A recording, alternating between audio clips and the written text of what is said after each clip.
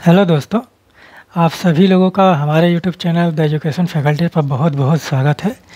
जैसा कि हमने कल के लेक्चर में बताया था कि आज से हम लोग सात, यानी कि सात अगस्त 2023 से हम लोग एक 20 प्रश्न का 15 से 20 प्रश्न का एक श्रृंखला लेकर चलेंगे, जिसमें आपके जो प्रश्न आएँगे वो रैंडमली आएँगे, क्योंकि जो एग्ज़ाम्स में प्रश्न पूछे जाते हैं वो आप लोगों का कहीं से भी पूछा जाता है। ठीक है? तो उसके आधार पर हम लोग पंद्रह से बीस प्रश्न जो प्रतिदिन लेकर आएँगे और उसमें देखा जाएगा कि किस प्रकार से प्रश्न पूछे जाते हैं, उसको सॉल्व किया जाएगा, हल किया जाएगा और फिर उसकी व्याख्या किया जाएगा और इस तरह से हम लोग को देखेंगे कि जो हम लोग पर डे बीस प्रश्न सॉल्व करेंगे या पंद्रह क्वेश्चन सॉल्व करेंगे तो वो श्रृंखला आपका प्रतिदिन चलती रहेगी। तो हफ़्ते में आप देखेंगे कि अगर बीस प्रश्न अगर हम सॉल्व कर रहे हैं प्रतिदिन तो एक हफ़्ते में आपका 140 प्रश्न हो जाएगा और फिर उसके बाद आप देखेंगे कि एक महीने में आपका 560 प्रश्न के लगभग में 560 600 प्रश्न के लगभग में आपका तैयार होगा। ठीक है तो इस उद्देश्य से हम लोग लेकर चलेंगे और इस जो श्रृंखला है, इसमें जो प्रश्न बनाए जाएँगे पंद्रह से बीस, वो इस प्रकार से बनाए जाएँगे कि वो आपके सभी एग्ज़ाम्स में, आपके सभी प्रतियोगी परीक्षाओं में मदद करेगा। ठीक है तो चलिए इस श्रृंखला का आज पहला दिन है और उसमें हम लोग देखते हैं। पहले प्रश्न से स्टार्ट करते हैं। तो हम लोग पहला प्रश्न ये आप देखेंगे कि रिलीजन से उठाएँगे, वो प्राचीन काल के रिलीजन से क्योंकि भारत में अगर हम भारत के संदर्भ में देखें प्रश्नों को तो वहाँ पर रिलीजन जो है, धर्म जो है, बहुत बड़ा महत्व रखता है। ठीक है तो पहले हम लोग रिलीजन से ही उठाते हैं और देखते हैं कि महात्मा बुद्ध ने अपना प्रथम उद्देश्य कहाँ दिया था। ठीक तो महात्मा बुद्ध एक आप देखेंगे कि बौद्ध धर्म से संबंधित हैं और जो उन्होंने अपना प्रथम उपदेश दिया था, वो आपका जो ऑप्शन में दिया गया है, बोध गया है, ऋषि पतनम है, वैशाली है, श्रावस्ती है, ठीक? तो एक बार आप सोचिए कि जो महात्मा बुद्ध थे, वो कहाँ पैदा हुए? कपिल वस्तु के लुम्बनी में पैदा हुए थे, ठीक? तो यहाँ पर जो उन्होंने प्रथम उपदेश दिया था, वो आपका ऋषि पतनम में दिया था, ठीक? और ऋषि पतनम को कहा जाता है सारनाथ, ठीक है? अगर कहीं दे दे कि सारनाथ में अगर सारनाथ दिया तो सारनाथ हो जाएगा। और ऋषि पतनम दिया है कि माता बुद्ध ने अपना प्रथम उद्देश्य कहाँ दिया था?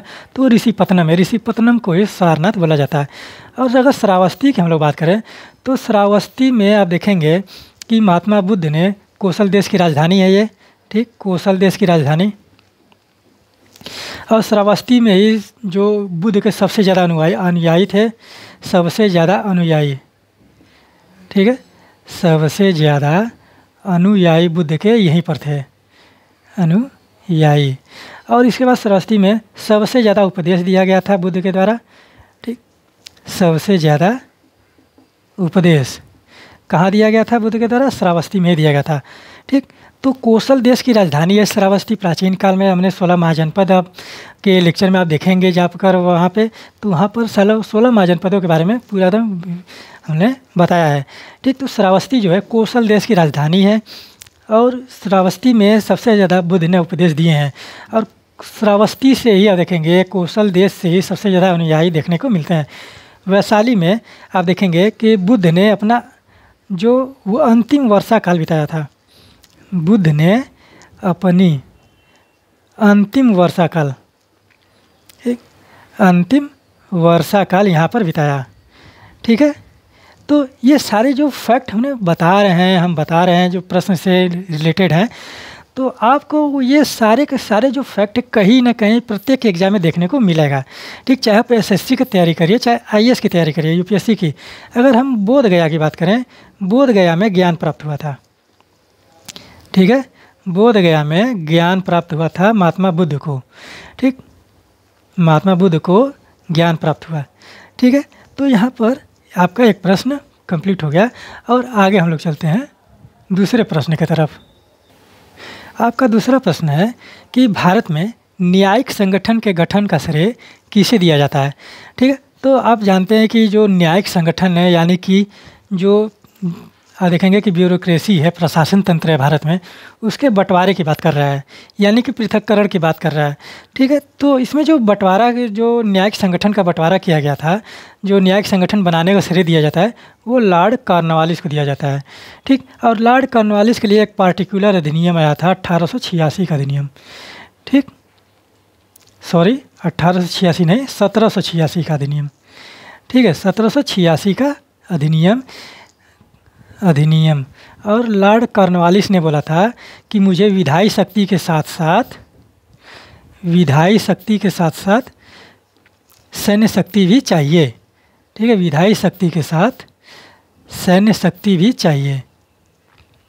ठीक है तो लॉर्ड कॉर्नवालिस को भारत का गवर्नर जनरल बनाने के लिए विधायी शक्ति के साथ साथ सैन्य शक्ति भी दे दिया गया और विधायी शक्ति के साथ साथ सैन्य शक्ति पाने वाला लॉर्ड कॉर्नवालिस जो है, वो आपका पहला गवर्नर जनरल है। और लॉर्ड कॉर्नवालिस ही भारत में आ देखेंगे कि कार्नवालिस कोड, ठीक है? कार्नवालिस कोड, ठीक? कार्नवालिस कोड क्या कहता है? ठीक, कार्नवालिस कोड ही आपका प्रशासन तंत्र का विभाजन करता है, ठीक है? प्रशासन का बंटवारा। ठीक? बंटवारा। यही आपका कार्नवालिस कोड है। और इसी को कहा जाता है पृथककरण का सिद्धांत। ठीक है? पृथककरण का सिद्धांत। इसे ही पृथककरण का सिद्धांत बोला जाता है। अगर कभी एग्ज़ाम में पूछ दे कि पृथककरण का सिद्धांत किस गवर्नर जनरल ने अपनाया था, ठीक है? किस गवर्नर जनरल अपनाया था तो वो होगा लॉर्ड कॉर्नवालिस। और लॉर्ड कॉर्नवालिस का मकबरा जो है आपका, मकबरा मकबरा उत्तर प्रदेश के गाजीपुर ज़िले में है।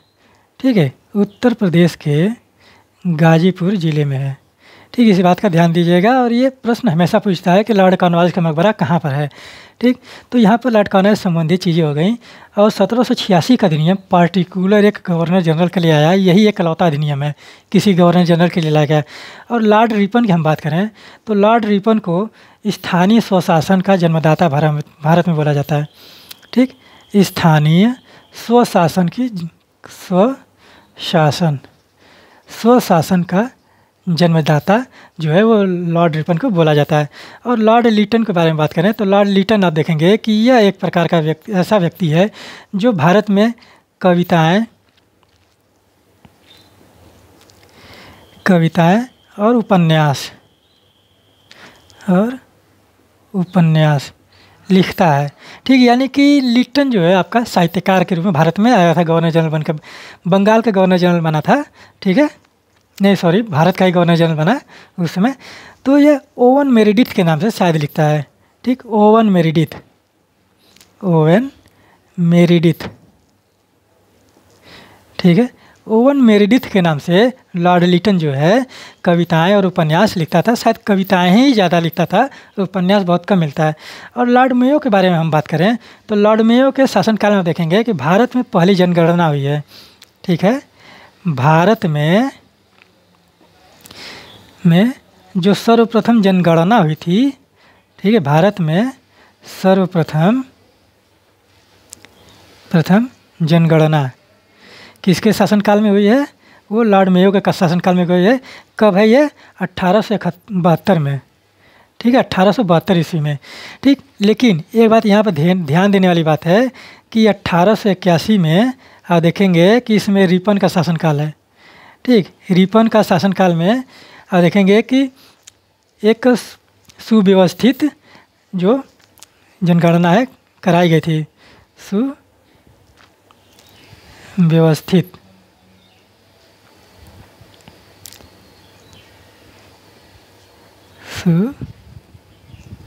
सुव्यवस्थित जनगणना। ठीक। जनगणना। किसके शासनकाल में हुई थी? लॉर्ड रिपन के शासनकाल में हुई थी। ठीक इस बात का ध्यान दीजिएगा। ये अट्ठारह सौ इक्यासी में हुई है और जो पहली जनगणना हुई थी लॉर्ड मेयो के शासनकाल में वो कब हुई थी? अट्ठारह सौ बहत्तर में हुई थी। ठीक है दोस्तों? तो यहाँ पर आप लोग का, का जो दूसरा प्रश्न है वो भी कंप्लीट होता है और हम लोग चलते हैं आपके तीसरे प्रश्न की तरफ़। आपका तीसरा प्रश्न है कि भारत में सबसे कम वर्षा वाला स्थान कौन सा है? ठीक है? जिसमें ऑप्शन है, जैसलमेर है, बीकानेर है ले है, चेरापूंजी है। ठीक? तो आप एक बार आप एक बार एक बार सोच कर देखिए कि जो सबसे ज़्यादा वर्षा होता है, वो कहाँ पर होता है? और जो सबसे ज़्यादा कम वर्षा होगा, वो कहाँ पर होगा? ठीक है?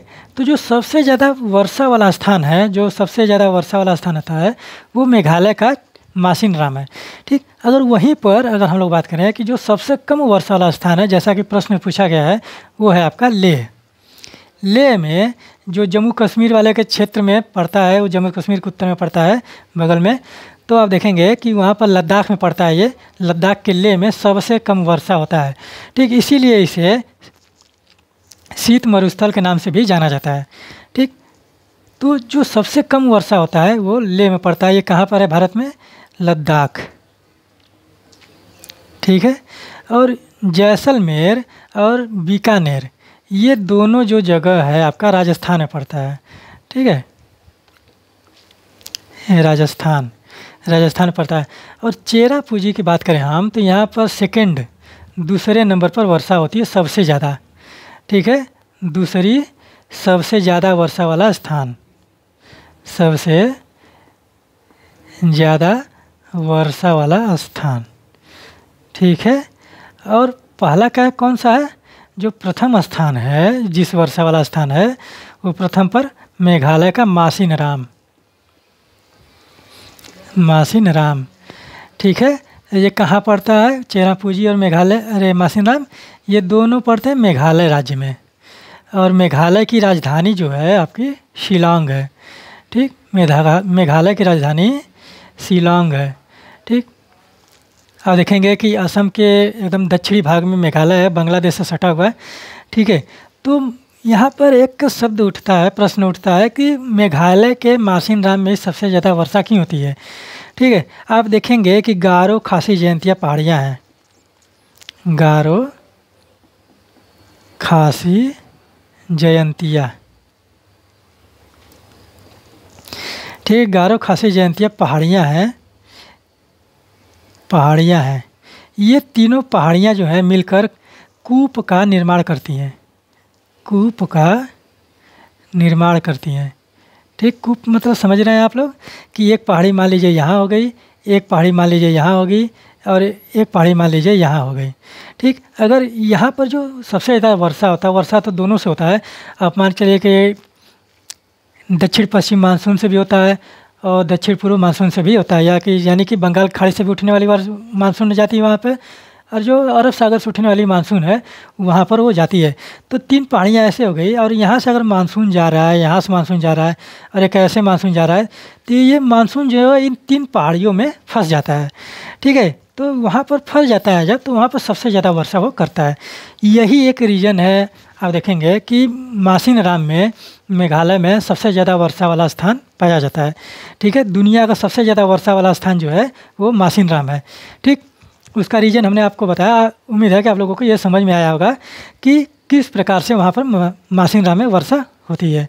ठीक, और हम लोग ज्योग्राफी के चैप्टर में देखेंगे। ज्योग्राफी जो पढ़ाएगा भारत का, इंडियन ज्योग्राफी जो पढ़ाएगा, जब वह उसमें क्लास चलेगी तो उसमें हम लोग जलवायु और मानसून के बारे में दोनों देखा जाएगा भारत की। ठीक है तो यहाँ पर सिर्फ़ हम लोग प्रश्न और क्वेश्चन आंसर के बारे में सिर्फ़ बात करेंगे।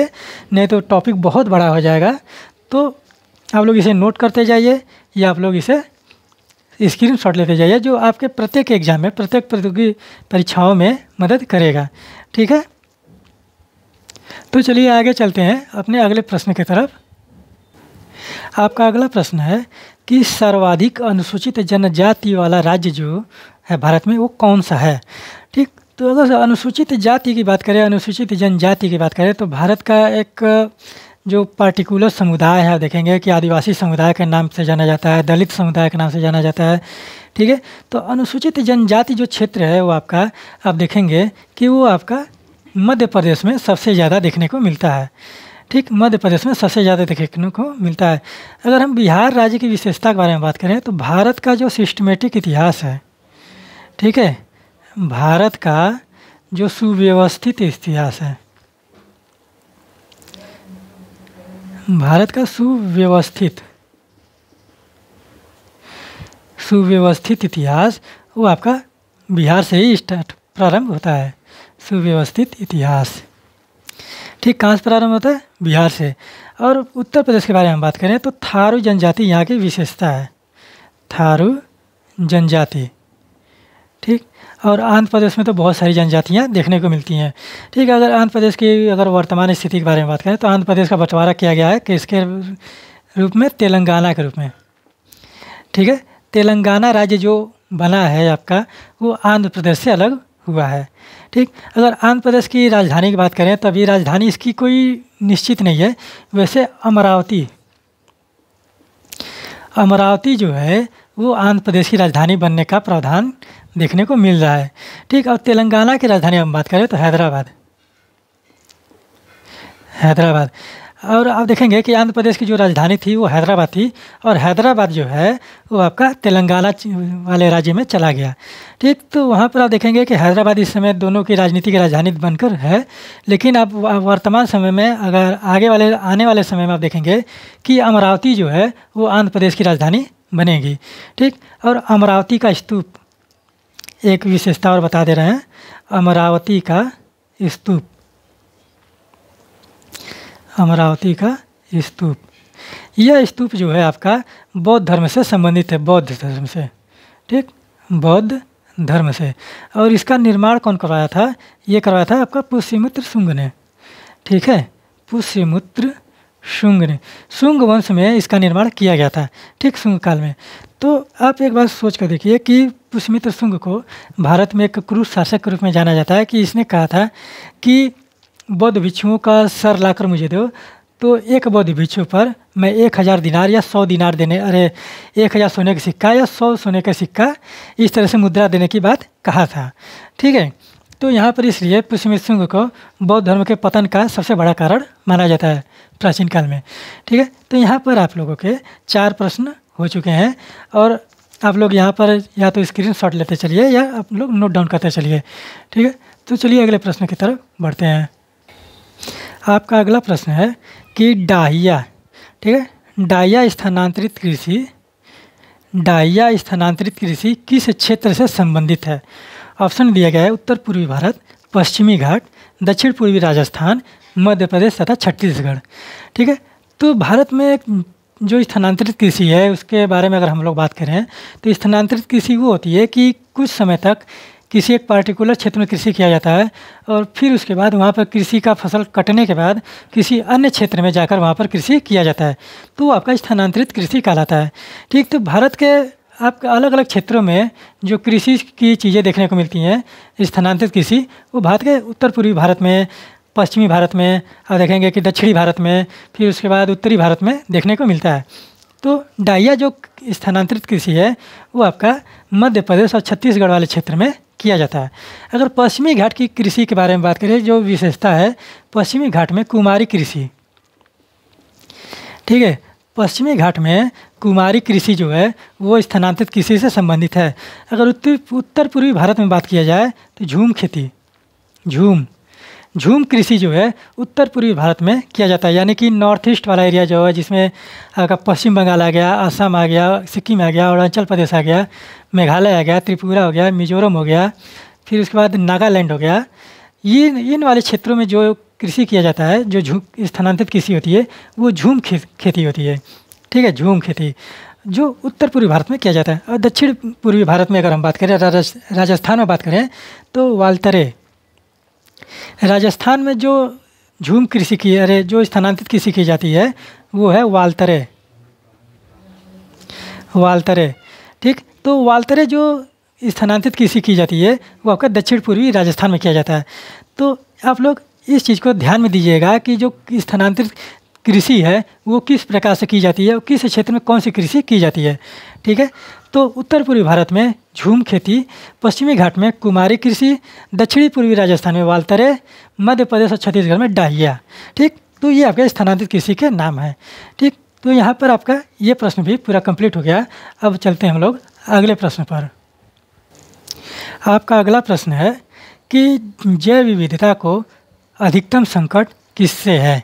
यानी कि अब जैव विविधता का अगर हम बारे, बारे में बात करें तो बायोडाइवर्सिटी इसको इंग्लिश में बोला जाता है।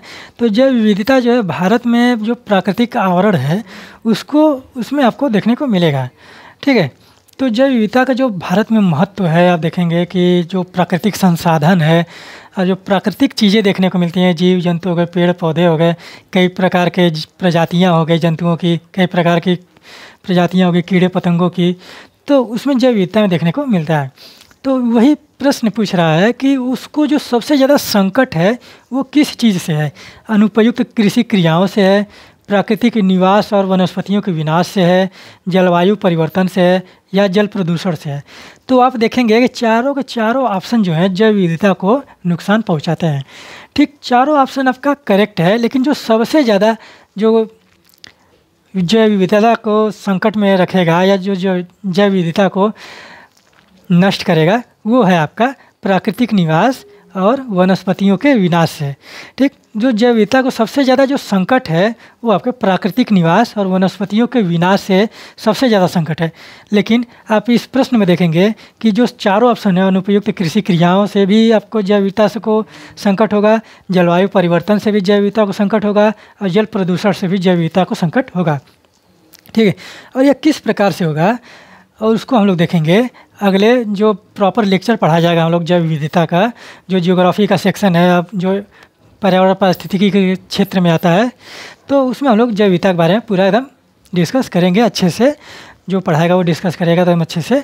तो वहाँ पर ये सारी जो चीज़ें हैं आपको क्लियर होती चली जाएँगी। ठीक है? तो अभी आप लोग प्रश्न और उत्तर सिर्फ़ देखिए और इन सभी चीज़ों को आप कहीं ना कहीं किसी न किसी एग्ज़ाम्स में देखेंगे। ठीक? और इन सभी चीज़ों को आप या तो नोट डाउन करते चलिए या स्क्रीन लेते चलिए, जिससे आपको आने वाले एग्ज़ाम में मदद मिलेगा। ठीक है? तो हम लोग चलते हैं अपने अगले प्रश्न की तरफ़। आप लोगों का अगला प्रश्न है कि निम्नलिखित में से कौन सरकारी आयोग का सदस्य नहीं था? ठीक है, सरकारी आयोग के बारे में हम लोग बात करें तो सरकारी आयोग जो है, ठीक है, सरकारी आयोग। सरकारिया आयोग। ठीक? तो सरकारिया आयोग का जब गठन किया गया अब देखेंगे कि यह किसके लिए किया गया है? केंद्र राज्य संबंध पर विचार विमर्श करने के लिए। केंद्र राज्य संबंध पर विचार विमर्श करने के लिए। विचार विमर्श करने के लिए। ठीक है? करने के लिए। और इसके जो सदस्य थे, आप देखेंगे कि वी शंकर है, के हनुमंथया है, ओ वी अलगेशन है। ठीक है, डॉक्टर एस आर सेन जो हैं, इसके सदस्य नहीं थे।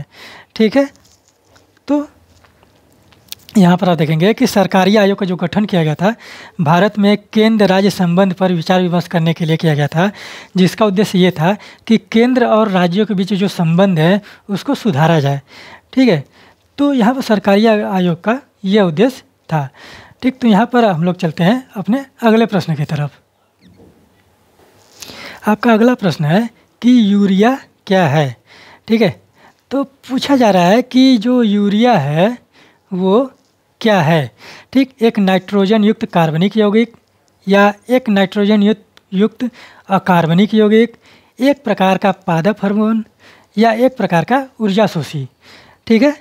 तो इसमें प्रश्न में पूछा गया है कि यूरिया इसमें से क्या है? तो यूरिया आप देखेंगे कि कई एग्ज़ाम्स में ये पूछा गया है। ठीक? तो अभी हाल ही में आप देखेंगे कि दो तीन साल पहले ही शायद यूपी पीसीएस में ये पूछा गया था। ठीक? तो यूरिया क्या है? तो यूरिया एक आप देखेंगे कि उसमें जो माना गया था वो है एक नाइट्रोजन युक्त आकार, वो कार्बनिक यौगिक है। ठीक? और बात करें तो यूरिया का जो रासायनिक सूत्र है, ठीक है? रासायनिक सूत्र। जो रासायनिक सूत्र आप देखेंगे कि केमिस्ट्री की भाषा है तो रासायनिक सूत्र इसका N H N H two का ट्वाइज है, ठीक है? एन एच टू का ट्वाइज और फिर उसके बाद सी ओ ये आपका रासायनिक सूत्र है, ठीक है? और एक चीज़ इसमें और देख लीजिए कि कृत्रिम विधि से, ठीक है? कृत्रिम विधि से, यानी कि लैब में पहली बार जो बनाया गया था यूरिया, कृत्रिम विधि से यूरिया बनाने का सर्वप्रथम यूरिया बनाने का सर्वप्रथम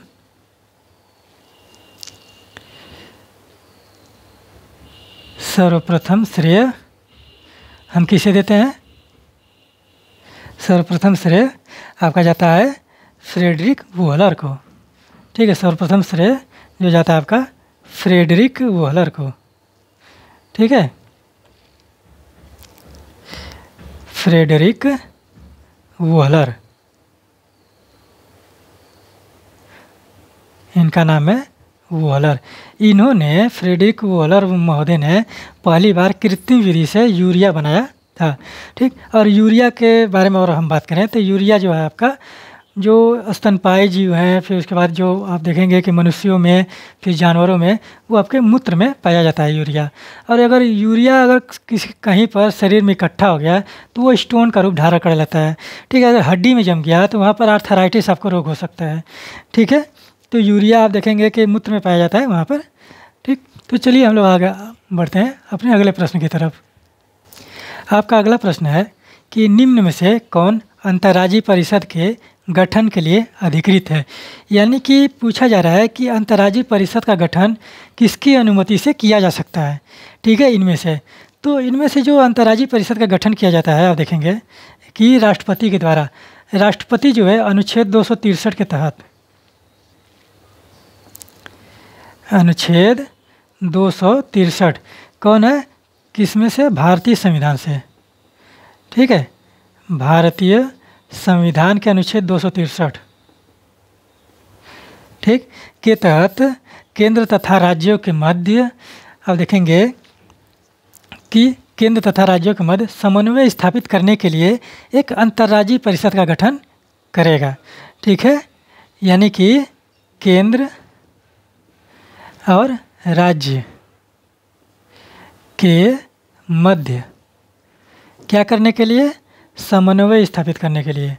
ठीक कि कार्य जो है, वो सही तरीके से चल सके। समन्वय स्थापित करने के लिए। क्या करेगा? एक अंतर्राज्यीय परिषद का गठन करेगा। ठीक है? चीज़ें समझ में आ रही हैं कि अंतर्राज्यीय जो परिषद है वो गठन कौन करेगा? राष्ट्रपति की अनुमति पर होगा। अधिकृत है राष्ट्रपति उसके लिए। और कौन सा संविधान का अनुच्छेद है? दो सौ तिरसठ। दो सौ तिरसठ अनुच्छेद के तहत, संविधान के, भारतीय संविधान के अनुच्छेद दो सौ तिरसठ के तहत राष्ट्रपति जो है, अंतर्राज्यीय परिषद के गठन के लिए अधिकृत किया गया है। अगर संसद की हम बात करें तो संसद संसद की हम बात करें, ठीक है, संसद की विशेषता देखिए क्या है। संसद संसद, आप देखेंगे कि भारत में यह कानून बनाती है। क्या बनाती है? कानून। भारत में जितने भी कानून बनकर आते हैं, वो संसद से ही आते हैं। ठीक? लेकिन एक बात ध्यान दीजिएगा। ठीक? संसद संविधान के किसी भी भाग में अनु, संशोधन कर सकती है। ठीक है? संसद संविधान के किसी भी भाग में। ठीक? ध्यान से सुनिएगा, क्योंकि यह प्रश्न पूछता है हमेशा। संसद किसी भी भाग में संशोधन कर सकती है। संशोधन कर सकती है। परंतु वह संविधान के मूल ढांचे में संशोधन नहीं कर सकती। वह वह संविधान के मूल ढांचे में संशोधन नहीं कर सकती। मूल ढांचे में संशोधन नहीं कर सकती। ठीक है? संशोधन नहीं कर सकती। ठीक, इस बात का हमेशा ध्यान दीजिएगा। और जो संविधान के मूल ढांचे का सिद्धांत है। ठीक, ये किस बात में दिया गया था? केशवानंद भारती केशवानंद भारती, बनाम, केरल राज्य। ठीक है? केरल राज्य। यह कब का केस है? 1973 का केस है। और 1973 में जो भारत के प्रधानमंत्री हैं, आप देखेंगे कि श्रीमती इंदिरा गांधी हैं। ठीक? और शायद उस समय जो सुप्रीम कोर्ट का, सुप्रीम कोर्ट में जो जज हैं, शायद अजीत नाथ रे थे, ए एन रे उनको बोला जाता है। शायद यही थे। या आप लोग इसको एक बार चेक कर लीजिएगा। कि कौन है वहाँ पे? उसमें सुप्रीम कोर्ट के जज। और ऐसा माना जाता है कि केशवानंद भारती केस ऐसा केस है जिसमें सुप्रीम कोर्ट के सबसे बड़ी बेंच बैठी थी वहाँ पे। ठीक है? और इसमें केशवानंद भारती में एक चीज़ देखने को मिलता है कि आप देखेंगे कि केशवानंद भारती यहाँ पर हार जाते हैं लेकिन जो भारत है वो जीत जाता है। ठीक ऐसा माना जाता है कि जो संविधान है वहाँ पर जीत जाता है। कि संविधान के मूल ढांचे का सिद्धांत दिया गया वहाँ पर और बताया गया सुप्रीम कोर्ट के तहत कि सं, जो संसद है वो भारतीय संविधान के किसी भी भाग में संशोधन कर सकती है लेकिन वह संविधान के मूल ढांचे में वो संशोधन नहीं कर सकती। ठीक? और मूल ढांचा जो है संविधान का, वो हम लोग समय समय पर बताएँगे। ठीक है? यही एक की पॉइंट बन गया सुप्रीम कोर्ट का कि हम लोग संविधान का मूल ढांचा जो है समय समय पर बताएँगे कि वो संविधान में क्या क्या है। ठीक है? तो यहाँ पर संसद के बारे में ये चीज़ हो गई। और संसद के बारे में हम लोग बात बात करें तो हम अभी आपको बता दे रहे हैं थोड़ा सा कि क्या क्या चीज़ें देखने को मिलती हैं संसद में। ठीक है?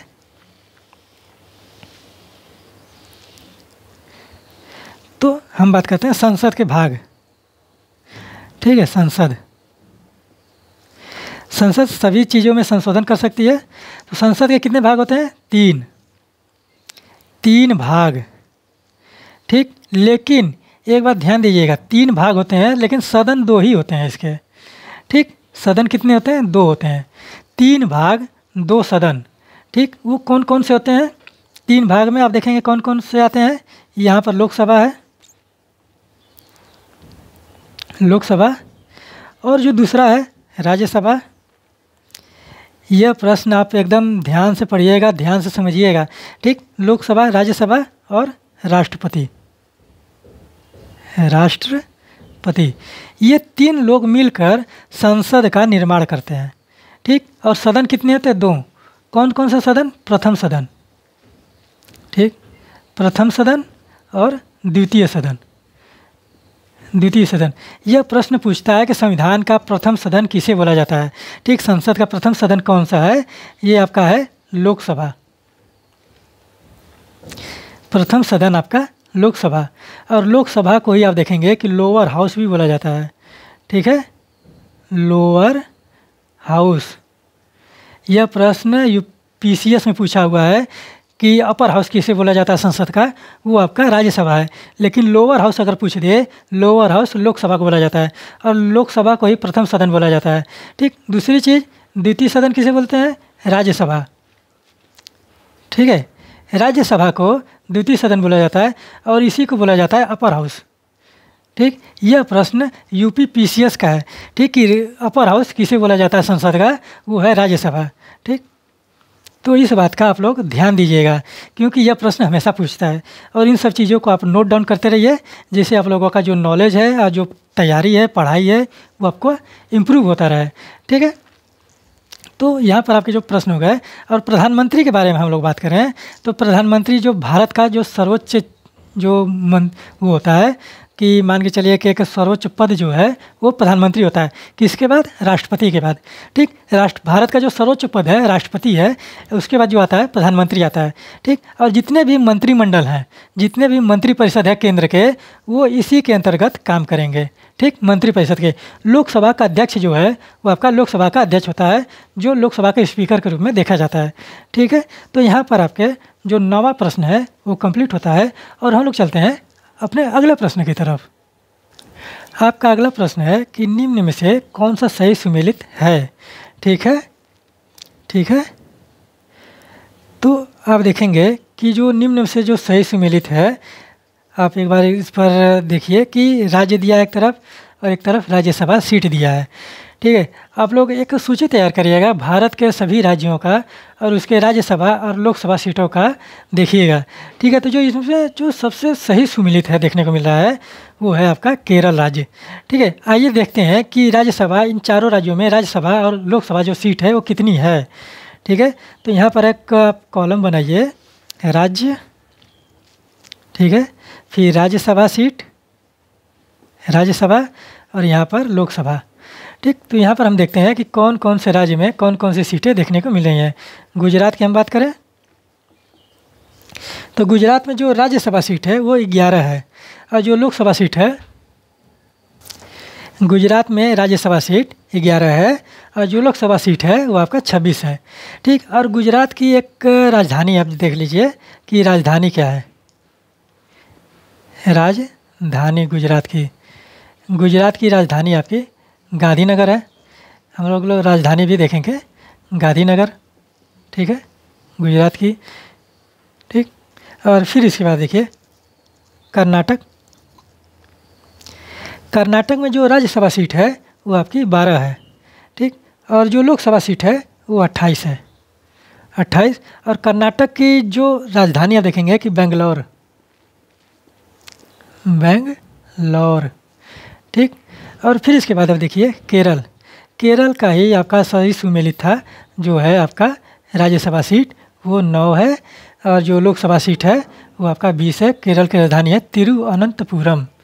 तिरु अनंतपुरम। ठीक है? तिरुवनंतपुरम फिर उसके बाद देखिए उड़ीसा। उड़ीसा की राजधानी है भुवनेश्वर। ठीक, उड़ीसा में जो राज्यसभा सीट है वो आपका दस है और लोकसभा सीट जो है वो इक्कीस है। यह इसकी राजधानी है भुवनेश्वर। भुवनेश्वर। ठीक? तो इस तरह से आप लोग 28 भारत में वर्तमान समय में 28 राज्य और 8 केंद्र शासित प्रदेश हैं। तो आप 28 राज्य प्लस 8 केंद्र शासित प्रदेशों की सूची बनाइए और उनकी राजधानियों को लिखिए, उसके बगल में फिर राज्यसभा सीट और लोकसभा सीटों को दिखाइए वहाँ पर। ठीक है? और सूची बनाकर उसको आप अपने पास रखिए क्योंकि वो प्रत्येक एग्ज़ाम में पूछता है। ठीक? अट्ठाईसों राज्यों के बारे में पूछता है। तो यहाँ पर हम लोगों का यह प्रश्न कंप्लीट हुआ और हम लोग चलते हैं अपने अगले प्रश्न की तरफ़। आपका अगला प्रश्न है कि तंबाकू निषेध दिवस कब मनाया जाता है? ठीक तो भारत में जो दिवस मनाए जाते हैं, उनकी आप एक महत्वपूर्ण महत्वपूर्ण दिवस की सूची बनाइए। या आप लोग कमेंट बॉक्स में कमेंट करिए, फिर टेलीग्राम चैनल से जुड़कर वहाँ पर सुझाव दीजिए। और इस चैनल को ज़्यादा से ज़्यादा सब्सक्राइब करिए, शेयर करिए। तो आप लोग वहाँ पर जब आप लोग अपने सुझाव देंगे तो हम लोग वहाँ पर आप लोगों के लिए उस तरह से कंटेंट लेकर आएँगे। ठीक है? तो आप लोग एक भारत में जो महत्वपूर्ण दिवस है, उनकी सूची बनाइए और देखिए कि कौन सा दिवस किस देश को मनाया जाता है। ठीक तो जो तंबाकू निषेध दिवस मनाया गया है, मनाया जाता है, वो इकतीस मई को मनाया जाता है। ठीक है? तो यहाँ पर हम लोग देखते हैं कि जो दस दिसंबर को दिवस मनाया गया, दस दिसंबर दस दिसंबर को यह मनाया जाता है मानवाधिकार दिवस, अंतर्राष्ट्रीय मानवाधिकार दिवस। ठीक है मानवाधिकार दिवस। शायद यही है, इसको एक बार चेक कर लीजिएगा। पाँच जून। पाँच जून को विश्व पर्यावरण दिवस। ठीक है, विश्व पर्यावरण दिवस।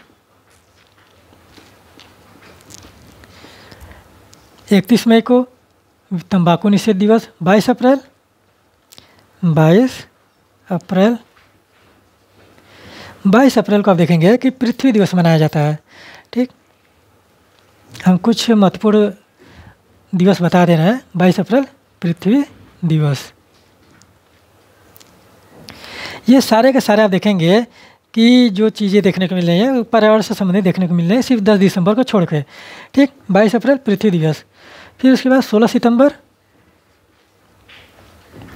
सोलह सितंबर, ओजोन दिवस।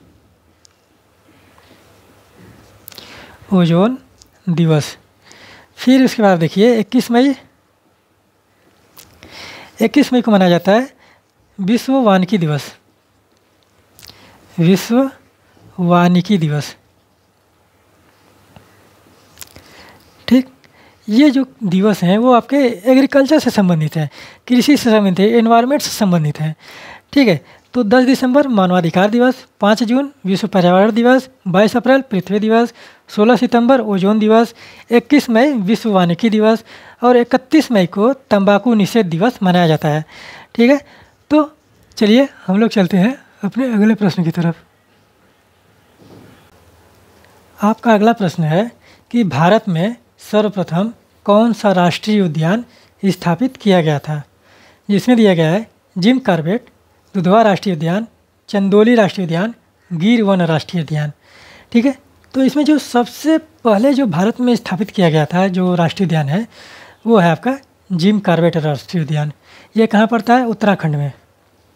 ठीक? यह है आपका उत्तराखंड में। उत्तराखंड में कहाँ पर है? नैनीताल। नैनीताल के पास। ठीक है? इसके बाद इसका जो स्थापना किया गया था, इसको स्थापना 1936 में किया गया था। ठीक? 1936 में इसकी स्थापना हुई थी। इस पे बात का ध्यान दीजिएगा। और यह प्रश्न हमेशा पूछता है कि भारत में जो पहला राष्ट्रीय उद्यान है वो कब स्थापना किया गया था 1936 में। कौन सा है? वो जिम कार्बेट है। ठीक? और इसको प्रारंभ में हैली राष्ट्रीय उद्यान कहा बोला बोला गया था। हैली राष्ट्रीय उद्यान। हैली राष्ट्रीय उद्यान, बोला गया। ठीक है? तो जिम कार्बेट राष्ट्रीय उद्यान उत्तराखंड के नैनीताल में है, जिसकी स्थापना 1936 ईस्वी में हुई थी और इसको प्रारंभ में हैली राष्ट्रीय उद्यान बोला गया था। ठीक? अब बात करते हैं दुधवा राष्ट्रीय उद्यान की। तो ये दुधवा राष्ट्रीय उद्यान जो है आपका यह आपका उत्तर प्रदेश के लखीमपुर खीरी में है। ठीक है? उत्तर प्रदेश के लखीमपुर खीरी में। लखीमपुर खीरी में। ठीक है? उत्तर प्रदेश के लखीमपुर खीरी में है। ठीक है? और इसका जो स्थापना किया गया था, यह स्थापना हुआ था 1977 में। 1977 में। ठीक? और यूपी का सबसे बड़ा जो ज़िला है, वो आपका लखीमपुर खीरी ही है। ठीक है? उत्तर प्रदेश में कुल पचहत्तर ज़िले हैं, और पचहत्तर ज़िलों में जो सबसे बड़ा ज़िला है, वो लखीमपुर खीरी है। ठीक? इसके बाद देखिए, चंदौली। चंदौली नहीं है ये, आपका देखेंगे। कि अगर आप कभी इसका इंग्लिश में देखेंगे तो उसका प्रोनाउंसिएशन जो होगा, वो चंदौली होगा। ये आपका पड़ता है महाराष्ट्र में। ठीक है? ये आपका पड़ता है महाराष्ट्र में। ठीक? महाराष्ट्र के सांगली जिला। महाराष्ट्र के सांगली जिला। ठीक? और इसका जो स्थापना किया गया था, सन 2004 में। सन 2004 में चंदोली राष्ट्रीय उद्यान का स्थापना हुआ था। और गिर आप जानते हैं ये आपका पड़ता है गुजरात में। गुजरात में जूनागढ़ के पास है ये ठीक है? जूनागढ़। और जूनागढ़ का अभिलेख आप देखेंगे कि रुद्र दामन का है जो कुषाण वंश का शासक है। कुषाण वंश के, के शक के मान चलिए कि शक शासक ठीक? शक वंश के आपके कार्दमक शाखा ठीक है? कभी पूछ रहे कि जो रुद्रदामन था, वो किस वंश के किस शाखा से था?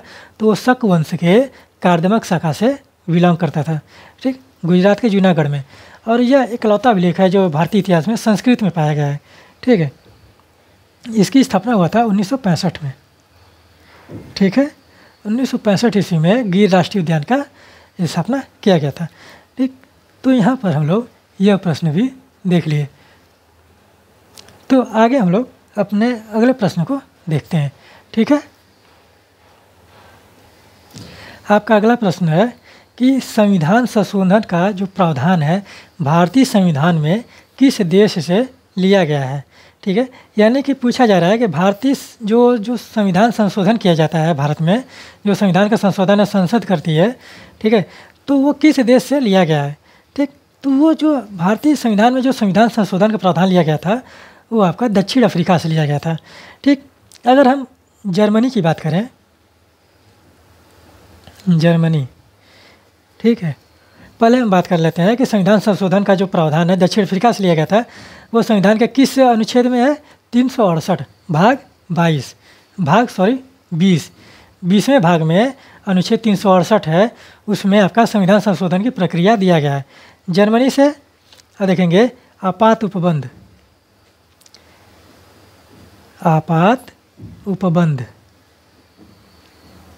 ठीक, ये कौन सा अनुच्छेद है? तीन सौ बावन, तीन सौ छप्पन और तीन सौ साठ। ठीक है, तीन सौ बावन, तीन सौ छप्पन, तीन सौ साठ अनुच्छेद जो है, वो आपका आपात उपबंध से है। एक में आप देखेंगे कि राष्ट्रीय आपात है, दूसरे में राज्य आपात है और तीसरे में वित्तीय आपात है। ठीक है, क्रमशः आप देख लीजिए, ये राष्ट्रीय आपात है ये राज्य आपात है और ये आपका वित्तीय आपात है, ठीक? फिर इसके बाद देख, देखते हैं अमेरिका अमेरिका से जो सबसे महत्वपूर्ण चीज़ लिया गया था, मूल अधिकार। मूल अधिकार। ठीक? संविधान का भाग तीन। अनुच्छेद जो है, आपका ये अनुच्छेद बारह से पैंतीस। ठीक? पैंतीस। और इसमें कितने कुल पार्ट हैं? छः प्रकार के अधिकार हैं। कितने अधिकार हैं? छः प्रकार के। छः प्रकार के अधिकार। ठीक है? तो इस चीज़ को आप लोग ध्यान दीजिएगा। छः प्रकार का अधिकार दिया गया है। पहले कितने थे? सात थे। सातवां अधिकार जो था, संपत्ति का अधिकार था। तो उसको समाप्त करके 300 ए में रख दिया गया। ठीक, यानी कि 301 में 301 है। ठीक है, वो एक जो है 300 का क्लॉज है, न कि 301 अनुच्छेद है। ठीक है, और उसके बाद बात करते हैं रूस के संविधान से। रूस रूस के संविधान से जो लिया गया था, मूल कर्तव्य। मूल कर्तव्य।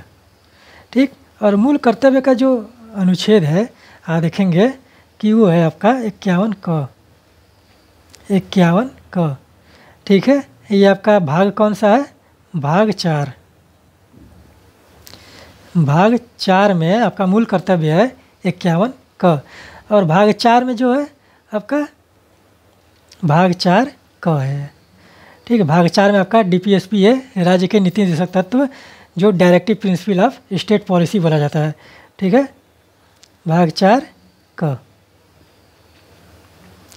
और इसके बाद देखिए, एक चीज़ और नोट कर लीजिए आयरलैंड जो सबसे महत्वपूर्ण महत्वपूर्ण प्रश्न है आपको, वो हम आपको बता दे रहे हैं कि क्या चीज़ पूछ सकता है एग्ज़ाम में। ठीक आयरलैंड के संविधान से लिया गया था राज्य के नीति के निदेशक तत्व। ठीक है, राज्य के नीति के निदेशक तत्व। ठीक है, निदेशक तत्व। ठीक? इसी को डीपीएसपी बोला जाता है। ठीक है? डीपीएसपी यानी कि directive principle of state policy ठीक? तो ये चीज़ें आप लोग ध्यान में रखिएगा। ये प्रश्न हमेशा पूछता है। और ये जो अनुच्छेद ये है राज्य का नीति निदेशक तत्व तो ये आपका भाग चार है। भाग चार। और अनुच्छेद जो है इसका, आप देखेंगे कि छत्तीस से छत्तीस से इक्यावन। तक इसका अनुच्छेद देखने को मिलता है। ठीक है तो यहाँ पर आपका जो संविधान संशोधन का प्रावधान था और बाकी जो अन्य महत्वपूर्ण संविधान हैं, जो प्रावधान लिए गए हैं भारत में, भारतीय संविधान में, वो आपके हो गए। ठीक है तो आप लोग यहाँ पर इस चीज़ को एकदम अच्छे से पढ़िए और इस समझने की कोशिश करिए कि कौन सी चीज़ कहाँ से लिया गया है। ठीक तो चलते हैं हम लोग अपने अगले प्रश्न की तरफ़। आपका अगला प्रश्न है दोस्तों कि इनमें से रिट जारी करने की शक्ति किसके पास सबसे ज़्यादा है? ठीक है? अगर रिट के बारे में हम लोग बात करें, इस शब्द के बारे में। ठीक? रिट क्या होता है? रिट एक प्रकार का आदेश है जो न्यायालय जारी करता है। ठीक? जब न्यायालय शब्द आ गया तो राष्ट्रपति और संसद, ये दोनों चीज़ें हट गई। ठीक? अब बात होती है सर्वोच्च न्यायालय और उच्च न्यायालय की। ठीक? तो उच्च न्यायालय जो है, आपका वो सबसे ज़्यादा रिट जारी करता है। यानी कि इसका जो आंसर होगा, उत्तर होगा, वो आपका उच्च न्यायालय होगा। उच्च न्यायालय के पास रिट जारी करने की शक्ति सर्वोच्च न्यायालय से ज़्यादा है। ठीक है? अगर सर्वोच्च न्यायालय की बात करें तो सर्वोच्च न्यायालय जो है, पाँच प्रकार के रिटों को जारी कर सकता है। ठीक? पाँच प्रकार के रिट जिसमें आप देखेंगे कि हेवियस कार्पस है मैंडमस है सरसियरी है, फिर प्रोहिबिशन है। ठीक है? तो इस प्रकार से वो पाँच प्रकार के रिट जारी करता है। ठीक? अगर राष्ट्रपति की बात करें तो राष्ट्रपति जो है भारत में सर्वोच्च पद माना जाता है और संसद के बारे में हम लोग पीछे डिस्कस कर चुके हैं। ठीक है, और राष्ट्रपति के बारे में अगर हम बात करें तो राष्ट्रपति की जो शक्तियाँ हैं, वो बहुत ही ज़्यादा होती हैं। लेकिन जो राष्ट्रपति है, वो प्रधानमंत्री के जो मंत्री परिषद है, उसके सलाह पर कार्य करता है। यही सबसे बड़ी कमी भारत में देखी जाती है कि जो भारत का सर्वोच्च पद है, वो किसी के सलाह पर काम कर सकता है, बाकी वो अपने से काम नहीं कर सकता। ठीक है, और राष्ट्रपति के पास जो शक्ति होती है, वो वीटो की शक्ति होती है। ठीक है, वीटो की शक्ति। वीटो आपका एक ऐसा है कि वो किसी भी विधेयक को रोक सकता है। ठीक, जिसमें वित्त विधेयक नहीं है। वित्त विधेयक को कोई भी रोक नहीं सकता। अगर वित्त विधेयक अगर लाया जाए तो वो आपका पास हो जाएगा। ठीक है तो राष्ट्रपति जो है वो वीटो की शक्ति प्रयोग करके किसी भी विधेयक को रोक सकता है। ठीक, तीन प्रकार का वीटो होता है। एक जेबी वीटो होता है, जिसे पॉकेट पॉकेट विकेट वीटो बोलते हैं। फिर एक पूर्ण निलंबनकारी होता है और एक निलंबनकारी वीटो होता है। ठीक, तीन प्रकार के वीटो का प्रयोग राष्ट्रपति करता है। किस लिए? कि अगर कोई विधेयक या कोई कानून जो है, उसके पास आया और उसको पसंद नहीं आया या उसका मन किया कि वो फिर से उसको समीक्षा की जाए तो संसद को वापस भेज देगा।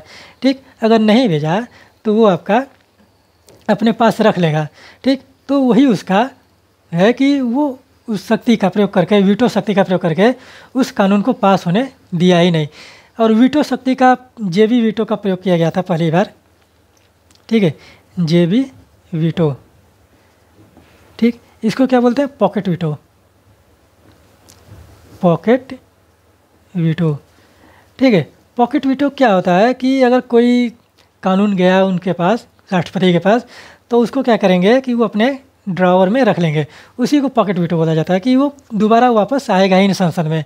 ठीक? और इसका जो प्रयोग किया गया था, ज्ञानी जैल सिंह के द्वारा। ज्ञानी जैल सिंह, ये राष्ट्रपति हुए हैं भारत के, शायद ये ही हैं। एक बार आप कंफर्म कर लीजिएगा कि ज्ञानी जैल सिंह ही हैं। ठीक है? तो वो कौन सा जो संशोधन था, वो डाक संशोधन से था संबंध। ठीक है? डाक संशोधन से संबंधित था। ठीक? और डाक संशोधन आप जानते हैं, डाक विभाग, ठीक है? डाकघर से संबंधित था। तो इस प्रकार से आप देखेंगे कि जो राष्ट्रपति या वीटो का शक्ति प्रयोग करके वो किसी भी विधेयक को रोक सकता है। ठीक है? तो जो रिट जारी करने की शक्ति है, वो आपका उच्च न्यायालय के पास सबसे ज़्यादा है। सर्वोच्च न्यायालय भारत का सुप्रीम कोर्ट है, वो सिर्फ़ पाँच प्रकार के रिटों को जारी कर सकता है। ठीक? और संसद के बारे में हम लोगों ने पीछे डिस्कस कर चुका है। ठीक है? चलिए हम लोग चलते हैं अपने अगले प्रश्न की तरफ़। आप लोगों का अगला प्रश्न है कि ऋग्वेद में अघन्या शब्द किसके लिए प्रयोग किया गया है? ठीक है? अघन्या शब्द जो शाब्दिक अर्थ होता है, अघन्या का, ठीक है? अगर अघन्या का शाब्दिक अर्थ लिया जाए, ठीक है? अघन्या। अघन्या का जो शाब्दिक अर्थ होता है, जो मारने योग्य न हो, जो मारने योग्य न हो। ठीक है? न हो। और ऋग वैदिक काल में आप देखेंगे कि दो चीज़ ऐसे हैं जिसको मारने योग्य न बोला गया। जो एक है अतिथि और एक है गाय। ठीक है? जो अघन्य शब्द प्रयोग किया गया था, वो गाय के लिए प्रयोग किया गया। ठीक है? गाय के लिए। गाय के लिए। और आप देखेंगे कि गाय के लिए एक शब्द और प्रयोग किया गया है, गविष्टि। गविष्टि। गवष्टि शब्द का जो अर्थ है, ठीक है, इसका अर्थ है आपका गायों की खोज। ठीक है, गविष्टि शब्द का अर्थ जो है, गायों की खोज। ठीक है, और इसका जो प्रयोग किया गया है ठीक है, गविष्टि शब्द का जो प्रयोग किया गया है, वो है युद्ध के लिए। ठीक है, गविष्टि शब्द का प्रयोग युद्ध के लिए है, लेकिन जो गविष्टि का शब्द का अर्थ है, वो गायों की खोज है। ठीक, और उस समय आप देखेंगे कि गाय जो है, आपका पशुधन समझा जाता है, क्रय विक्रय का साधन समझा जाता है, और संपत्ति का साधन भी गाय को देखा गया है उस समय। ठीक है तो गाय उसमें आप देखेंगे कि सबसे महत्वपूर्ण पशु के रूप में उभर कर आती है, कब? ऋग वैदिक काल में। ठीक है तो हम लोग अपने अगले प्रश्न की तरफ़ बढ़ते हैं। आपका अगला प्रश्न है कि किस शैलकृत गुफा में ग्यारह सिरों के बोधिसत्व का अंकन मिलता है? ठीक है, यह प्रश्न बहुत ही फ़ेमस है। यह प्रश्न गुफाओं से अक्सर पूछा जाता है कि दशावतार मंदिर कहाँ पर है, फिर उसके बाद शिव का अंकन कहाँ, किस गुफा में मिलता है। ठीक है तो इस प्रकार से आप देखेंगे कि पूछा गया है कि ग्यारह सिरों के बोधिसत्व। ठीक है, बोधिसत्व का जो कॉन्सेप्ट है, आप देखेंगे कि वो बौद्ध धर्म से संबंधित है। सबसे पहले तो ये आप मान लीजिए, यहाँ पर बौद्ध धर्म। ठीक है बोधिसत्व का जो कॉन्सेप्ट निकल कर आता है, वो आपका निकल कर आता है कहाँ से? बौद्ध धर्म से। ठीक तो बोध, यह पूछा गया है कि ग्यारह सिरों के बोधिसत्व। ठीक, बोधिसत्व का अंकन कहाँ मिलता है? वो आपकी कन्हेरी की गुफा में मिलता है। ठीक है, बाघ की गुफा कारले गुफा, कन्हेरी गुफा, अजंता गुफा। तो वो आपके कन्हेरी की गुफा में ग्यारह सिरों के बोधिसत्व का अंकन मिलता है। ठीक, अगर हम कन्हेरी की गुफा के बारे में बात करें, कन्हेरी की गुफा। ठीक है? अगर हम पूरा एकदम गुफाओं का अगर हम इसमें देखें तो कन्हेरी गुफा है। यह आपका बम्बई से पश्चिम में और बोरीबली से उत्तर में स्थित है। ठीक महाराष्ट्र में बम्बई से पश्चिम। बम्बई से पश्चिम। ठीक और बोरीवली से। बोरीवली से उत्तर में स्थित है। से कहाँ पर है? उत्तर में। ठीक है? इसका निर्माण जो हुआ था, तीसरी से तीसरी से नौवीं सदी के मध्य। ठीक है? इसको आप लोग नोट करते जाइएगा, एक नोट्स बनाते जाइएगा कि आप लोगों को आने वाले एग्ज़ाम में मदद करेगा। तीसरी से नौवीं सदी के मध्य में। ठीक है? नौवीं सदी के मध्य। ठीक है।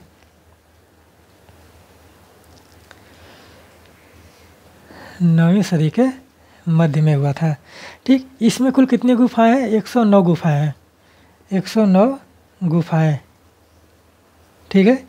इसके बाद इसमें की जो सारी की सारी गुफाएँ हैं, सारी बौद्ध धर्म से संबंधित हैं। सारी बौद्ध धर्म से संबंधित हैं।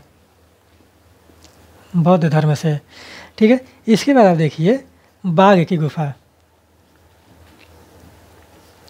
सारी गुफाओं का हम व्याख्या कर दे रहे हैं और बाकी जो चीज़ें हैं आप लोग, उसको देखते रहिएगा।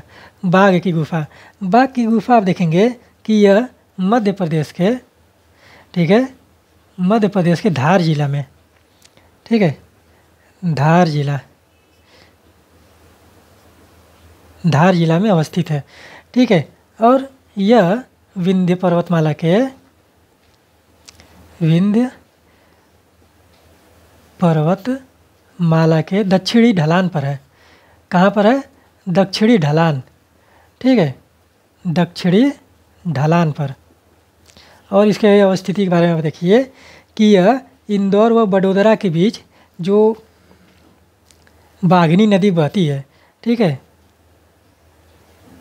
इंदौर व वडोदरा। वडोदरा आपका गुजरात में पड़ता है। ये इस बात का? ध्यान दीजिएगा। वडोदरा के मध्य। के मध्य। बाघनी नदी बहती है। ठीक है? बाघनी नदी। नदी बहती है। ठीक है? इसी घाटी में है। बाघनी नदी की घाटी में अवस्थित है। ठीक है? तो एक चीज़ यहाँ पर ध्यान दीजिए कि लोकेशन पूछता है। ठीक है? गुफाओं का लोकेशन पूछता है, मंदिरों का लोकेशन पूछता है कि किस नदी घाटी में अवस्थित है, कहाँ पर अवस्थित है, ठीक, किस पहाड़ पर अवस्थित है, किस पहाड़ के दक्षिणी ढलान में है कि उत्तरी ढलान में है, ये सारी चीज़ें पूछता है। ठीक? और बाघ की गुफा जो है मध्य प्रदेश के धार जिला में विंध्यन पर्वतमाला के दक्षिणी ढलान पर और इंदौर व वडोदरा के मध्य जो बाघनी नदी बहती है, उसकी, उस नदी घाटी में अवस्थित है बाघ की गुफा। और इसमें आप देखेंगे कि ये सारी गुफाएँ जो हैं, बौद्ध धर्म से हैं। बौद्ध धर्म से संबंधित है, ठीक है? इसके बाद आप देखिए कि इसकी जो स्थापना किया गया था, जो इसका निर्माण किया गया है, चौथी सदी से, चौथी सदी से चौथी सदी से पाँचवीं सदी के मध्य। ठीक है?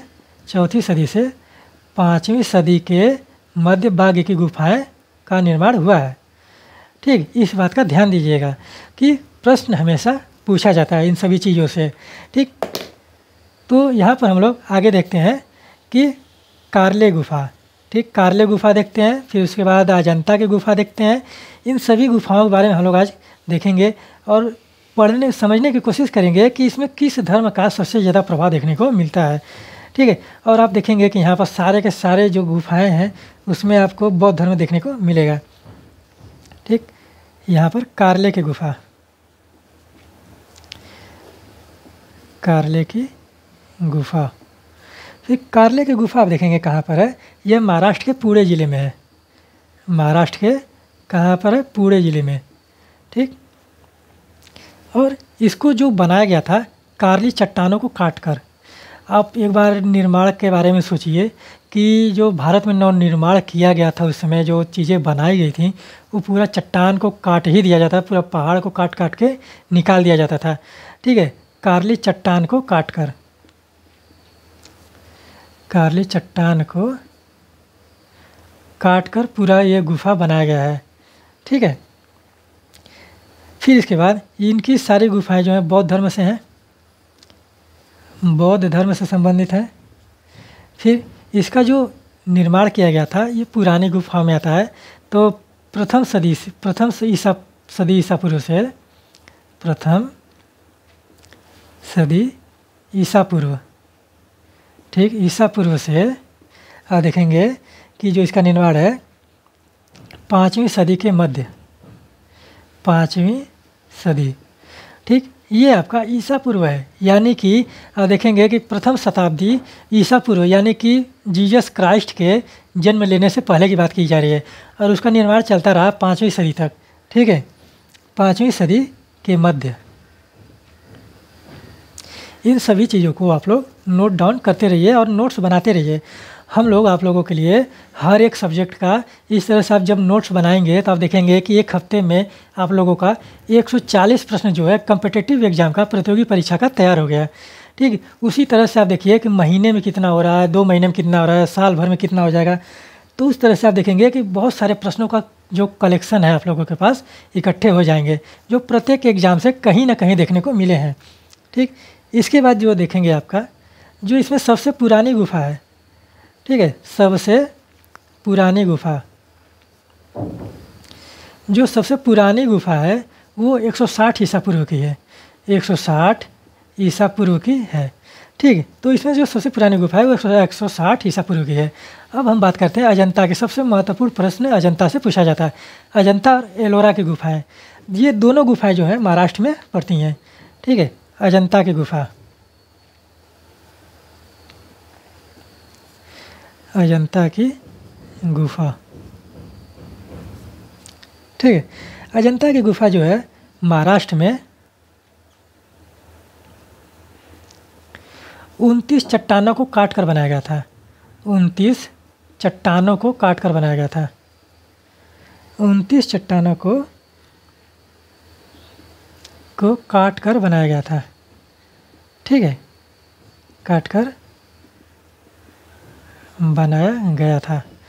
ठीक, इस बात का ध्यान दीजिए, कितनी चट्टानें हैं? उनतीस चट्टानें हैं। और सारी गुफाएँ जो हैं, बौद्ध धर्म से संबंधित हैं। सारी की सारी, चारों की चारों गुफाएँ जो हैं, बौद्ध धर्म से संबंधित है। फिर उसके बाद बराबर की गुफाएँ हैं, ठीक है? बराबर की गुफाएँ जो है, आपके बिहार राज्य में पड़ती हैं। और उसका जो बराबर की गुफाओं का निर्माण कराया गया था, वो सम्राट अशोक जो है, उसके पुत्र दशरथ के द्वारा करवाया गया था। ठीक है? बौद्ध गुफाएँ, ठीक? बौद्ध धर्म से संबंधित है, सारी गुफाएँ। और जो इसका निर्माण किया गया था, वो आप देखेंगे कि द्वितीय शताब्दी ईसा पूर्व में बनाई गई थी। जो सारी गुफाएँ बनाई गई, द्वितीय शताब्दी ईसा पूर्व में। ठीक है? शायद द्वितीय शताब्दी आप एक बार चेक करिएगा कि द्वितीय सदी ईसा पूर्व। ठीक? ईसा पूर्व में बनाई गई थी। ठीक है? द्वितीय सदी ईसा पूर्व में। ठीक? और इसको आप देखेंगे कि अजंता की गुफा को उन्नीस सौ तिरासी में अजंता गुफा को उन्नीस सौ तिरासी में यूनेस्को यूनेस्को ने यूनेस्को ने विश्व धरोहर स्थल में शामिल किया था। यूनेस्को ने विश्व धरोहर स्थल धरोहर स्थल में शामिल किया था। स्थल में शामिल किया था। ठीक, यह प्रश्न बहुत बार पूछा है, किया था कि अजंता गुफा को यूनेस्को ने कब विश्व विश्व धरोहर स्थल में शामिल किया था? वो था उन्नीस सौ तिरासी में। ठीक है तो यहाँ पर हमने चारों गुफाओं की विशेषताओं के बारे में बात कर लिया। और चारों गुफाओं में किसका जो प्रभाव देखने को मिलता है, किस धर्म का प्रभाव देखने को मिलता है, वो भी कंप्लीट हो गया। तो हम लोग चलते हैं अपने अगले प्रश्न की तरफ़। आपका अगला प्रश्न है कि निम्न में से कौन सा सही सुमिलित नहीं है? ठीक है, जिसमें दिया गया है, गंधार कला, कुषाण वंश, जूनागढ़, अभिलेख, रुद्रदामन तक्षशिला लेख पतिक, मिलिंद पन्नो, विमकट विशेष। ठीक है तो अगर इसके बारे में हम लोग बात करें तो इसमें जो ऑप्शन गलत है, वो है मिलिंद पन्हो।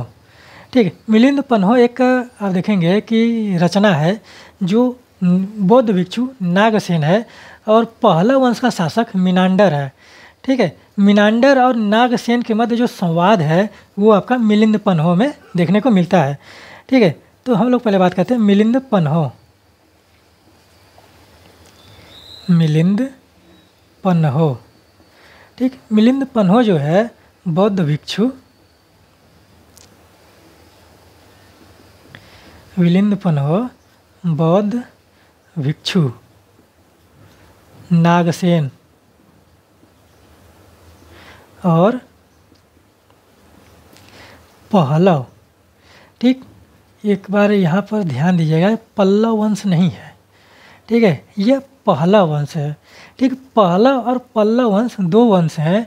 आप देखेंगे कि पहला वंश जो है, वो इंडोग्रिक शासक है। ठीक है पल्लव वंश जो है भारतीय शासक है। ठीक तो पहला वंश का शासक है यहाँ पर। पहला वंश का शासक। शासक जो है वो मिनांडर। मिनांडर। तो मिनांडर और नागसेन के मध्य जो संवाद हुआ, जो संवाद है, उसको क्या कहते हैं? मिलिंद पन्हो कहते हैं। ठीक है? मिनांडर के मध्य संवाद। ठीक? संवाद आप समझ रहे हैं कि दोनों के बीच बहस हुई। किस पर? अध्यात्म पर। ठीक है? संवाद। ये इतिहास का सेक्शन है। तो अगर मिलिंद पन्हो पर हम लोग बात करेंगे तो एक विस्तार से बात करेंगे जब हम लोग एंशियंट इंडिया देखेंगे। प्राचीन भारत पढ़ा जाएगा। और आप लोग कमेंट करते रहिए टेलीग्राम चैनल से जुड़कर वहाँ पर सुझाव देते रहिए तो वहाँ पर हम लोग आप लोगों के लिए अच्छे अच्छे कंटेंट लेकर आएँगे। ठीक, गांधार कला का जो संबंध है, कुषाण वंश से है। ठीक, कुषाण वंश के शासनकाल में आप देखेंगे, कनिष्क का शासनकाल है। तो वहाँ पर उसने पहली बार महात्मा बुद्ध की मूर्ति का निर्माण किया था और वो महात्मा बुद्ध के मूर्ति का जो निर्माण किया गया है, वो आपका गंधार कला में किया गया है। ठीक, गंधार से लिए वहाँ पर, उसके आधार पर महात्मा बुद्ध की मूर्ति का निर्माण कराया गया था।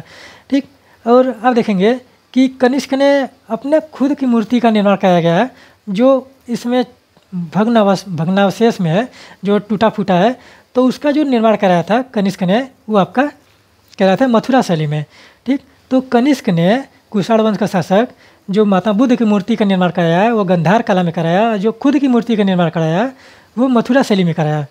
ठीक है? और मथुरा शैली, गंधार शैली को हम लोग पढ़ेंगे, जो भारत का आर्ट एंड कल्चर है, कला संस्कृति है, उसमें हम लोग पढ़ेंगे, इतिहास में। ठीक? और जूनागढ़ के अभिलेख के बारे में हम लोग बात करें तो अभी हमने पीछे बताया कि रुद्र दामन का जो जूनागढ़ अभिलेख है, वो आपका भारतीय इतिहास में संस्कृत में पाया जाने वाला पहला अभिलेख है। ठीक? और जूनागढ़ के अभिलेख में आप देखेंगे कि सुदर्शन झील के निर्माण के पुनरुद्धार की कहानी देखने को मिलती है। ठीक, तक्षशिला लेख का पतिक नामक शासक का है। ठीक है तो यहाँ पर हम लोगों का यह प्रश्न भी कंप्लीट होता है और हम लोग चलते हैं अपने अगले प्रश्न की तरफ़। आपका अगला प्रश्न है कि निम्न में कौन सा सही सुमेलित है? ठीक है तो एक तरफ़ दर्रे का नाम दिया गया है और दूसरी तरफ़ है वो राज्य का नाम दिया गया है। तो जिसमें दिया गया है दर्रे में जोजिला दर्रा, लद्दाख सिपकीला दर्रा, जम्मू कश्मीर, नाथुला दर्रा, उत्तराखंड, बूमली, बूमडीला दर्रा अरुणाचल प्रदेश। ठीक है? तो इसमें जो सुमेलित है, सही सुमेलित है, वो आपका बूमडीला दर्रा जो है अरुणाचल प्रदेश में स्थित है। ठीक? जोजिला दर्रा आपका, ये पड़ता है आपका जम्मू कश्मीर में। ठीक है? जम्मू कश्मीर में। ये सिपकीला दर्रा पड़ता है आपका हिमाचल प्रदेश में। हिमाचल प्रदेश में। ठीक? इन सभी चीज़ों को नोट डाउन करते चलिए, ये आपको हर एक एग्ज़ाम में मदद करेगा। और नाथुला दर्रा पड़ता है आपका सिक्किम में। सिक्किम में। ठीक है? और बूमडीला दर्रा है अरुणाचल प्रदेश में। ठीक? अगर लद्दाख में दर्रे की बात करें तो उसमें बहुत सारे दर्रे देखने को मिलते हैं। जम्मू कश्मीर में बहुत सारे दर्रे हैं। ठीक है, फिर उत्तराखंड में नीतीला है मानाला है, लिपू लेक है, ये सारे दर्रे देखने को मिलते हैं। ठीक, जम्मू कश्मीर जोजिला है, फिर उसके बाद देखेंगे कि बुरजिल दर्रा है। ठीक तो ये सारे दर्रे जो हैं आपको भारत के अन्य राज्यों में भी देखने को मिलते हैं। ठीक तो दर्रे जो क्या होते हैं? दर्रे का मतलब ये होता है कि एक ऐसा सकरा रास्ता होता है ये, कि जो एक पार्टिकुलर स्थान को दूसरे पार्टिकुलर स्थान से जोड़ता है। ठीक यानी कि एक स्थान से दूसरे स्थान को जोड़ने वाला जो रास्ता होता है सकरा होता है, पहाड़ों के बीच में होता है, उसे क्या बोलते हैं? दर्रा बोलते हैं। तो यहाँ पर आप लोग दर्रे को, दर्रे का आप देखेंगे कि भारत में आप देखेंगे कि पूरे उत्तर भारत से लेकर, मान के चलिए कि उत्तर पश्चिमी भारत से लेकर पूरे एकदम नॉर्थ ईस्ट वाले एरिया में, पूरी उत्तर पूर्वी भारत में पूरा एकदम देखने को मिलता है। ठीक? और कुछ दर्रे जो हैं, महाराष्ट्र में है और कुछ दर्रे केरल राज्य में है। ठीक है? तो आप उन सभी दर्रों का सूची बनाइए और अपने नोट्स में उसको दर्शाइए। ठीक है? नोट्स बनाते रहिए आप लोग और चलिए हम लोग देखते हैं अपने अगले प्रश्न को। आपका अगला प्रश्न है कि कूट की सहायता से सही उत्तर का चुनाव करें या सही उत्तर चुनें, जिसमें एक तरफ़ दिया है, कम, कंपनी का नाम है, आप देखेंगे, और उसके स्थान के नाम के बारे में पूछा है कि कहाँ पर स्थित है। ठीक बालको कंपनी, कोरबा, हिंडालको रेनीकूट नालको, कोरापुट और इंडियन एल्यूमिनियम कंपनी, हीराकुंड। ठीक है तो ऑप्शन में दिया है, एक चार तीन दो, एक दो तीन चार चार तीन एक दो और दो तीन एक चार। तो आप लोगों को इसमें मिलान करना है कि कौन सी कंपनी कहाँ पर स्थित है। ठीक है तो चलिए हम लोग देखते हैं कि ये चारों के चारों ऑप्शन जो हैं, आप देखेंगे कि बालको जो है, ये आपका कोरबा में ही है, हिंडालको जो है, वो रेणुकूट में है नालको जो है, कोरापुट में है और एल्यूमिनियम जो है आपका हीराकुंड पे पाया जाता है। यानी कि आपके चारों ऑप्शन जो है, वो सही हैं। यानी कि जो ऑप्शन आपका होगा, वो ऑप्शन बी होगा। ठीक? यानी कि एक, दो, तीन, चार। तो यहाँ पर आप लोग कंपनियों के नाम और वहाँ पर जो उनके जगह हैं, कहाँ पर संस्था है, कहाँ पर मुख्यालय है, वो सारी चीज़ें आपको एग्ज़ाम्स में देखने को मिलेंगे और उनके, आप उनकी सूचियाँ बनाते चलिए। ठीक है? तो अब हम लोग बात करते हैं अपने अगले प्रश्न की तरफ़। आप लोगों का अगला प्रश्न है कि ट्राइकोमा बीमारी का वाहक कौन है? ठीक है, सबसे पहले हम लोग बात कर रहे हैं ट्राइकोमा बीमारी है क्या चीज़? ठीक? ट्राइकोमा बीमारी। ट्राइकोमा बीमारी आपको आँख को प्रभावित करती है, मनुष्य के आँख। आँख को प्रभावित करती है। प्रभावित करती है। ठीक? आँख को प्रभावित करती है। और इसका जो वाहक है, आप देखेंगे कि बैक्टीरिया है, जीवाणु। इसका वाहक इसका वाहक जीवाणु है। ठीक है? तो यहाँ पर आप देखिए कि जो ट्राइकोमा बीमारी है, वो आँख को प्रभावित करती है। आप देखेंगे कि ट्राइकोमा बीमारी अगर किसी को है तो आप देखेंगे कि आँख बाहर आ जाती है और पलकें जो हैं, वो अंदर की तरफ़ धंस जाती हैं। ठीक है? तो उस बीमारी का जो लक्षण देखने को मिलता है, वो ट्राइकोमा बीमारी देखने माना जाता है। और उसका जो वाहक है, वो आपका जीवाणु है। आप लोग विषाणु, कवक और प्रोटोजोआ से जो रोग होते हैं, उसको आप कमेंट बॉक्स में कमेंट करिए या टेलीग्राम चैनल पर आप लोग कमेंट करिए। ठीक है? तो आप इन तीन बीमारियों से जो तीन वाहक रोग हैं, जो तीन वाहक चीज़ें हैं, उनसे एक एक बीमारी का सिर्फ़ आप नाम लिखिए और बताइए। ठीक है? तो यहाँ पर आप लोगों का पूरे बीस बीस प्रश्न का जो सीरीज़ था, वो आपका कंप्लीट होता है और ऐसे ही हम लोग प्रतिदिन बीस प्रश्न करेंगे। ठीक है? तो आप लोग चैनल से जुड़ते रहिए, चैनल को सब्सक्राइब करते रहिए और चैनल को शेयर करिए ज़्यादा से ज़्यादा, जिससे और भी लोग जुड़ते रहें और इस सीरीज़ का फ़ायदा उठाते रहें। ठीक है? तो उम्मीद है कि आप लोगों को यह सीरीज़ पसंद आएगी। तो आप लोग चैनल से जुड़िए और चैनल को ज़्यादा से ज़्यादा शेयर करिए।